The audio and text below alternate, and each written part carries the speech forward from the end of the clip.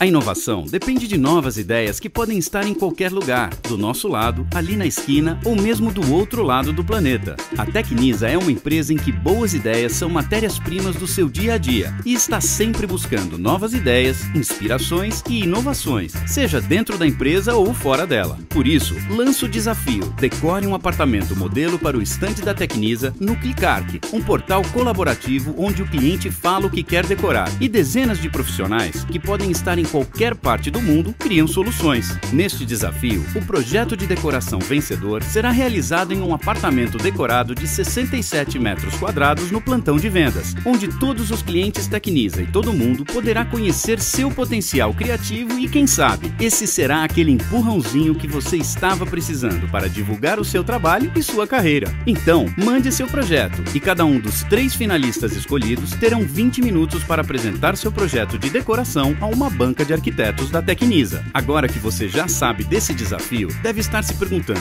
legal, essa é uma boa oportunidade para mim, mas como eu faço para participar? É muito simples. Acesse clicarc.com.br e clique no link do concurso da Tecnisa. Lá você vai ter passo a passo todas as informações necessárias, como plantas, medidas, especificações, orçamento disponível, regra do concurso e até algumas dicas de como apresentar seu projeto. Mas seja rápido, pois você terá 45 dias para apresentar seu projeto. Por isso, dê asas à sua criatividade e inove bastante.